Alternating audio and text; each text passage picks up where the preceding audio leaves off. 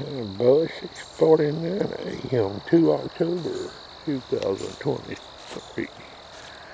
We're going back up in here where we was yesterday morning, but we may go higher on the hill. Boys, we shot one out of this beech here, but now that squirrel might have fell down in that big tree hole right there, that big hole right there. I for sure I shot him up there on that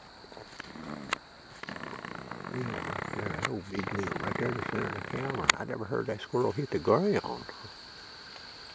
Now, I was on the head, boys.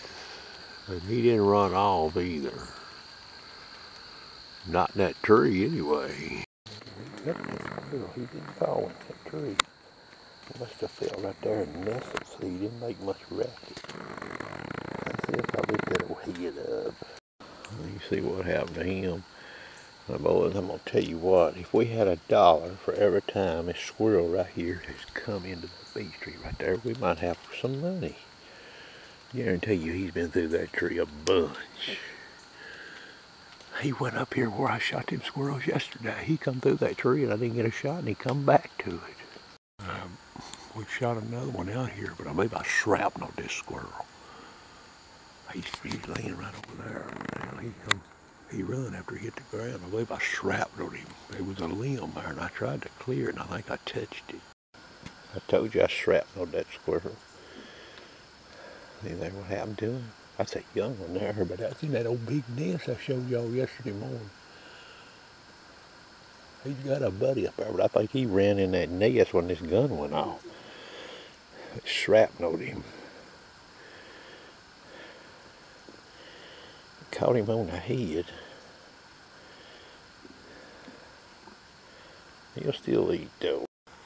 Alright boys, I ain't seen but one more squirrel.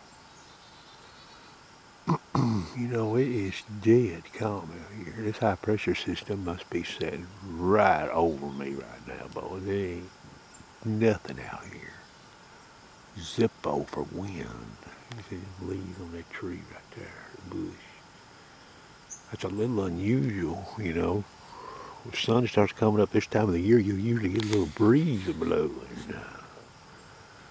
Right, boys, I quit hunting this morning about when I started yesterday morning. Two each gray squirrel. That's a little fella there, ain't he? Look at there. He got shrapnel, though. He got hit in the head.